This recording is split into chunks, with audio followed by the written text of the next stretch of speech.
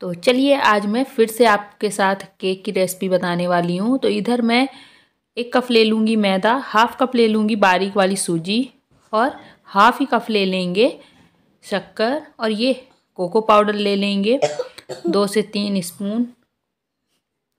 और ये दो स्पून ले लेंगे वेनीगर। थोड़ा सा डाल देते हैं वेनीला एसेंस। चुटकी भर डाल देंगे नमक और इधर डाल देते हैं मीठा सोडा और बेकिंग सोडा। मतलब बेकिंग पाउडर और इसमें हम दूध भी डाल के मिक्स करके इसको पीस लेंगे ग्राइंड कर लेंगे। तो वो मैं दिखाई नहीं मतलब दिख नहीं पाया कैमरा ऑफ़ था तो मुझे ध्यान नहीं आया। और ये एक मैं ग्लास का बाउल ले लेती हूँ। उसमें मैं तेल से ग्रीस कर ली थी और ये बैटर पूरा डाल दूँगी। इसको थोड़ा टैप कर देते हैं और इधर हमारा कढ़ाई भी गर्म हो गया है। तो इसमें हम रख देते हैं। और 30 से 35 मिनट में हम 30 मिनट में एक बार चेक करेंगे, फिर उसके बाद पकेगा तो फिर तो 30 मिनट बाद हम चेक कर लेंगे एक बार। तो इसको हम ऐसे ढक देते हैं और गैस को एकदम धीमी आँच में हम पकाएँगे।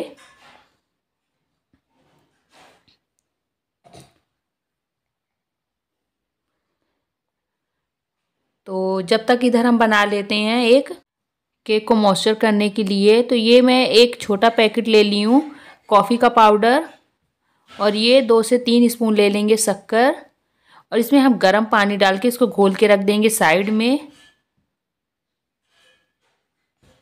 तो आप इधर शक्कर और पानी बस भी ले सकते हो। इससे क्या होगा, हम अपने केक में डालेंगे ना तो बहुत ही अच्छा सॉफ्ट रहेगा और मॉइस्चर रहेगा वो। तो हम केक एक बार चेक कर लेते हैं। तो मैं तीस मिनट में एक बार चेक की थी तो थोड़ा कच्चा लग रहा था मुझे। फिर उसके बाद मैं पाँच मिनट के लिए और पकाई थी। तो करीबन ये पैंतीस मिनट में हमारा जो केक है वो पक गया है। तो इसको हम निकाल लेंगे और ठंडा कर लेंगे थोड़ा देर के लिए। तो ऐसे थोड़ा सा नाइफ से हम साइड पे निकाल लेंगे। और एक हम इधर ले लेंगे ऐसा फॉग या जो भी कुछ ऐसा। तो ऐसा हम कर देंगे। इससे क्या होगा कि जो हम शुगर का और कॉफ़ी का पानी बनाए हैं, वो डालेंगे तो बहुत ही अच्छे से नीचे तक चला जाएगा। और जो हमारा केक है स्पॉन्ज वो बहुत ही सॉफ्ट रहेगा। तो ये हम पूरा हम इसमें डाल देंगे। तो अभी केक हल्का गर्म है हमारा। तो आप देख रहे हो कितने अच्छे से जा रहा, बहुत ही सॉफ्ट केक बना हुआ है। ये देखिए, अब इसको फ्रिज में हम रख देंगे, जिससे ठंडा हो जाए थोड़ा सा ठंडा होने के बाद ही हम इसमें क्रीम डालेंगे, वरना ये मेल्ट हो जाएगा पूरा। तो पूरी क्रीम हम इसमें डाल देते हैं।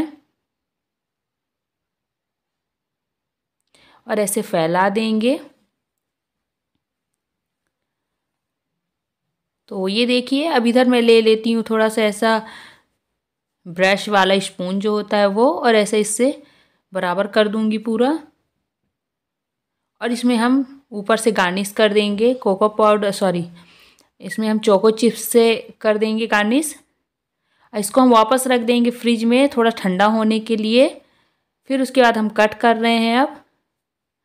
तो आप देख रहे हो कितना सॉफ्ट है हमारा केक कट करने से ही पता चल रहा है कि कितना सॉफ्ट बना हुआ है। आप इसको मतलब बर्थडे में भी इसको सर्व कर सकते हो। मतलब इसको निकाल लो इससे और ऐसे ऊपर से क्रीम लगा के। ये इधर फिर मेरा कैमरा ऑफ़ हो गया था निकालते टाइम का भी। तो मैं नहीं दिखा पाई हूँ। और मैं आपको कट करके भी दिखाती हूँ। बहुत ही ज़्यादा सॉफ्ट बना हुआ था और बहुत ही टेस्टी लग रहा था ये।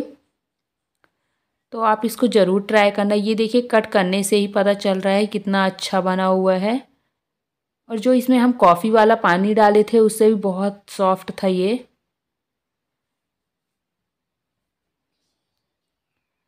तो ये देखिए।